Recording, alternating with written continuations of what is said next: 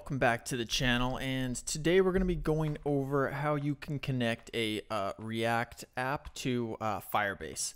So I'm over here in the Firebase console so you'll want to navigate to console.firebase.google.com and sign up for whatever you need to. And then in this console here, uh, I'm gonna just go add project like so, and you can enter your project name here. So I'm just gonna say notes. We're just gonna create a simple little notes thing that we can uh, show how to connect to uh, React here. So press continue. We can either do Google Analytics or not. These seem to be recommended, but we don't need them for this. So we're gonna create without them and then you'll see your project being created. All right, and then we can see that that has uh, finished up and is done being created. So we can click uh, continue here. Okay, and then it's gonna bring you over to this uh, main page here. And now what we wanna do is we're gonna create a uh, database here. So we can come in, we're gonna have a real-time database right here. So we can click over to that. And then we wanna come in and say create database right there. You can select wherever you want to be here. Uh, they only have three options, I guess. So we'll click the United States. And then we're going to say what test mode. We're just doing a little test app here. So we're going to start in test mode and then we're going to enable. Okay, and then now this is what our uh, database is going to look like here. There's uh, a few different options here. There's some different rules we can add, read, write. Right now we have both of these allowed um, backups, usage, different stuff like that. Okay, so this is where all of our data from our database will show up eventually. So now let's look at actually creating our React app. So let's come over to a uh, terminal here. And I just have a project Firebase Tut up here, and I'm gonna do uh, the work in here. So we'll go like this, npx, and we'll say create uh, React app and then we're just gonna call it uh, Firebase notes like this, and we're gonna use TypeScript, so we'll say template uh, dash dash uh, TypeScript like this. All right, so once that is finished, we can CD into our Firebase notes like that, and let's open this up in VS Code. And once that's open here, let's open up an integrated terminal because we need actually one more thing here. And we're just gonna go yarn add and we will say Firebase.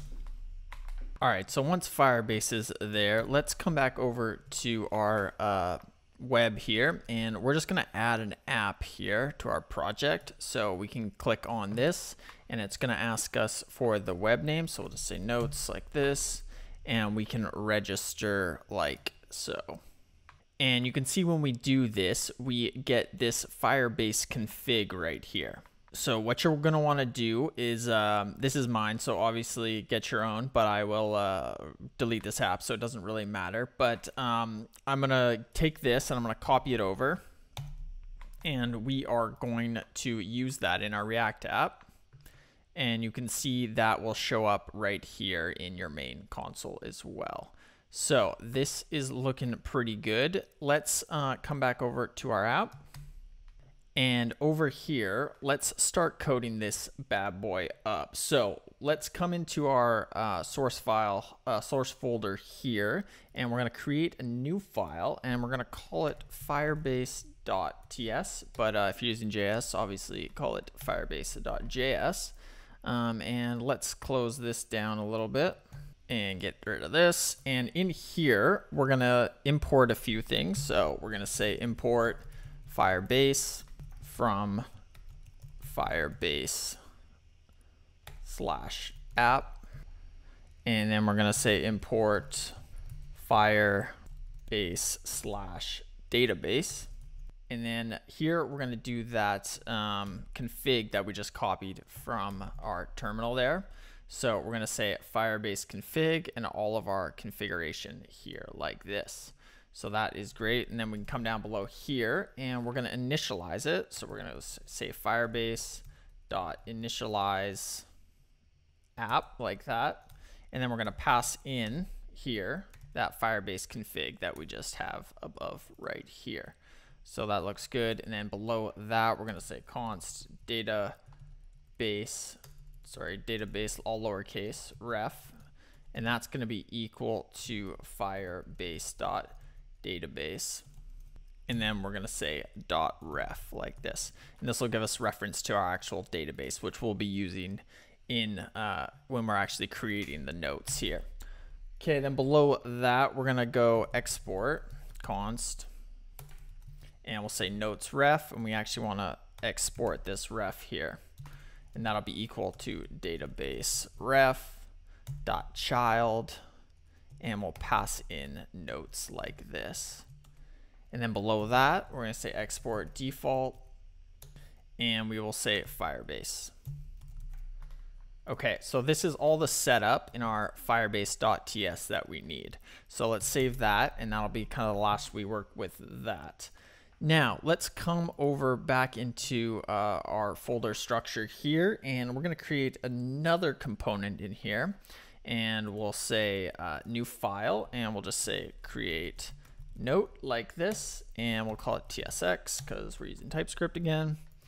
And then we'll come over here and inside of here is where we're actually going to do basically all of our work. So let's just create some structure here.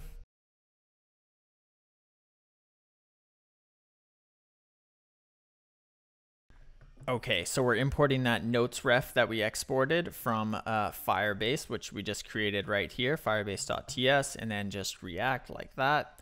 And now let's just create our note. So let's come in here and we're just gonna say const and we'll say note and uh, set note and that's to be equal to use state and we'll pass in an empty string and then below that let's uh, create our function that's going to be called create note here so we'll say const uh, create note like this and we're going to do an arrow function here and let's add the event and some TypeScript here it's going to be a form event if you're doing TypeScript and we can pass in the event target like that. That's just a uh, TypeScript thing. If you're not using TypeScript, don't worry about it. Don't add this. Um, so that's good. And then we'll do an arrow function here. And let's close out of this so we have more room. Uh, arrow function here. And inside of this function here, we're going to say uh, e dot prevent default like that. And then we're going to create an item here. Const item and that's going to be equal to, and we're going to say task, and we'll say pass the note that we created with the state here. So we're going to pass the note, and then the second thing we're going to pass is if it's done or not. So this is sort of just a create note kind of app thing that we're doing. All right, anyway, so below that, then we're gonna go notes ref, which we created in the other file here, and then we're gonna say dot push, and then we're just gonna pass in the item there. And then again, we'll just set the note here in our state back to uh, an empty string like this. So this notes ref dot push, we're gonna push onto the array this other item, and that's how we're gonna add it. All right, so everything is looking pretty good. Let's uh, finish here with our markup. So if we come below this, we're gonna say return, so we have to actually return something in our function here, and we can do some markup. So we'll create a form and we'll just go and say uh, what on submit and that's going to be equal to um, create uh, the create uh, note function that we created above. And then inside this form here we're just going to have an input. And it's going to be of type text like that. And we'll have a value. And the value is going to be note of course. And then we're going to have an on change. And that's going to be equal to and we'll pass in uh, the event like that. And we'll say set note and this will actually um, set our note. And this is how we'll set the note state here. And we'll say e dot target dot value like that. And then finally here we can just add a placeholder. And we'll just say uh, create a note like that. Okay and close that off with your second uh, quotes there and go ahead and save that and that should be looking pretty good. So let's uh, fire this up and say yarn start. All right so that's working well and now let's actually add this back into our app here. So come back into your app.tsx So in here, we can actually just get rid of everything from the header down, get rid of that. And then we're gonna come in and we'll just say uh, create note like this and auto import that like so. Make sure we close this off. Okay, now if we go ahead and save that and come back over to our uh, web app here. All right, so you can see up top here, we're just gonna make this a little bigger. And if we want to create a note, we'll just say test note and press enter. And this clears out, but it doesn't look like anything happened necessarily.